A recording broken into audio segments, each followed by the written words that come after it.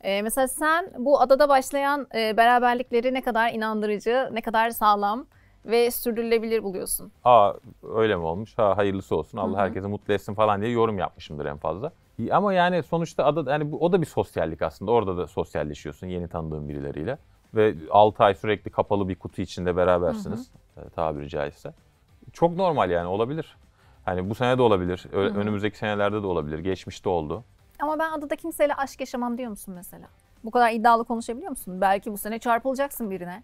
Ya çok zor.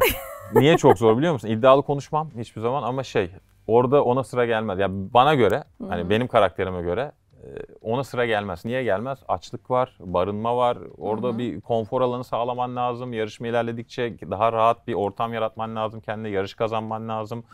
Ee, İstanbul, Türkiye, aile vesaire arkadaş özlemi var. Ama bilemem tabii hani hı. belli de olmaz. Hayat bu yani kısmet.